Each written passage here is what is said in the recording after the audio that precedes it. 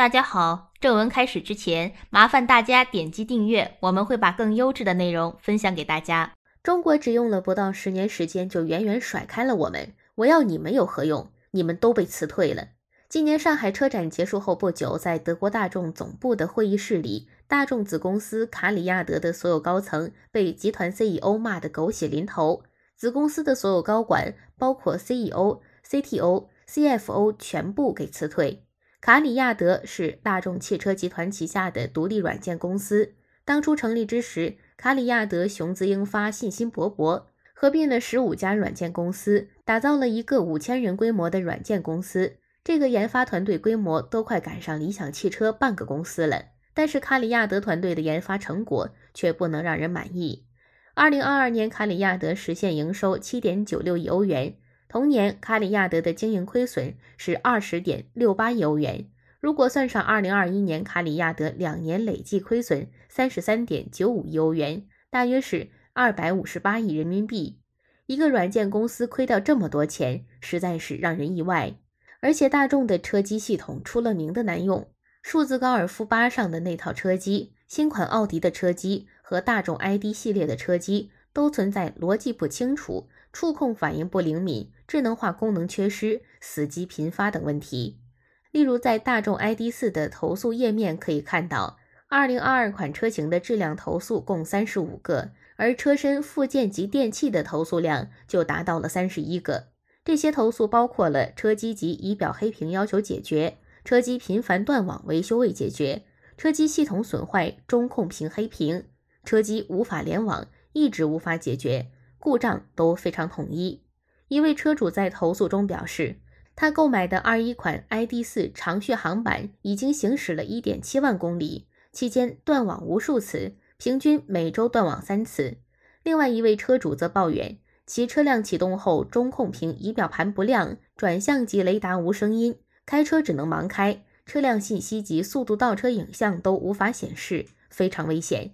为了大众的车机系统，大众 CEO 等高层也是多次在公开场合表态，要尽快进行修复和完善。但显然，软件团队仍然拿不出很好的解决方案，这极大的影响了大众 ID 系列车型在全年的销量，特别是在竞争相当激烈的中国市场。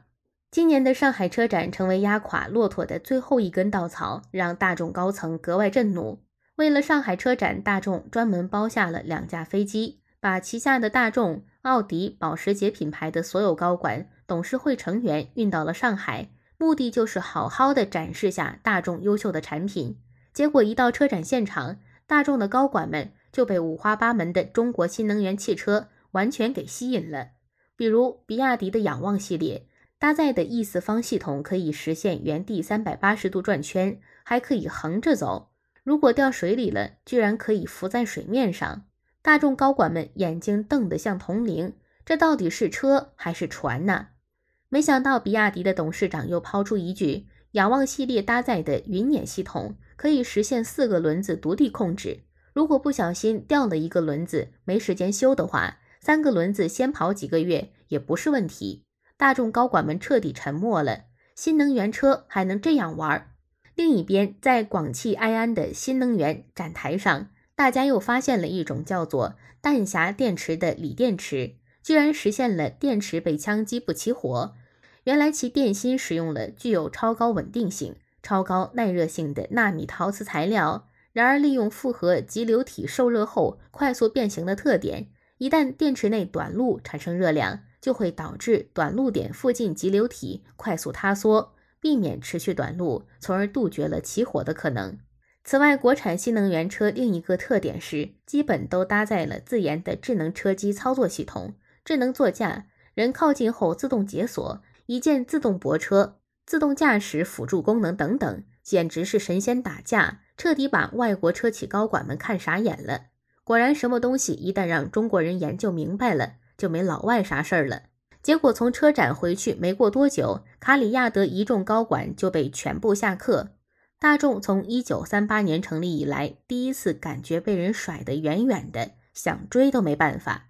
事实上，除了功能丰富、人车交互体验好以外，中国新能源汽车崛起的另外一个根本原因是，这波国产新势力彻底把价格打下来了。比如特斯拉续航六百公里以上的车型需要五十万以上，结果广汽埃安二零二三款具备六百一十公里续航，价位只要十四万左右。为了吸引年轻用户，埃安更是搭载了智驾互联生态系统，可畅玩三千余款游戏，还能实现一百五十米超长距离记忆泊车、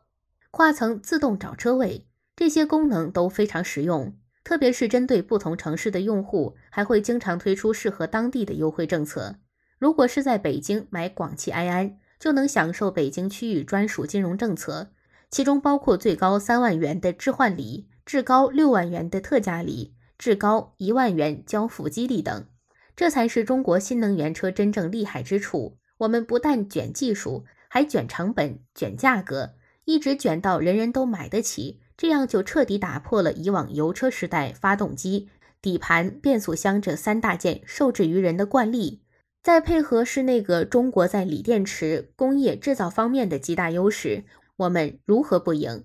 二零二零年时，德国媒体就曾经说过，美国特斯拉已经领先德国车企十年，而到了二零二三年，德国慕尼黑水星报深刻反思，打出标题：中国领先我们几光年。面对在智能化领域突飞猛进的中国对手，大众汽车明显已经落后了。大众 CEO 表示，卡里亚德的表现是不可接受的，必须进行彻底的改革和重组。同时，大众汽车集团也加快了与中国合作伙伴的沟通和协调，寻求更适合中国市场需求的解决方案。有消息称，大众集团或将与大疆集团在智能化领域达成合作。大众汽车和大疆的合作始于二零一七年，当时大众汽车宣布与大疆合作，共同开发无人驾驶汽车。去年十月十三日，大众汽车集团宣布，旗下软件公司卡里亚德将与高效能智能驾驶计算平台的头部企业地平线成立合资公司，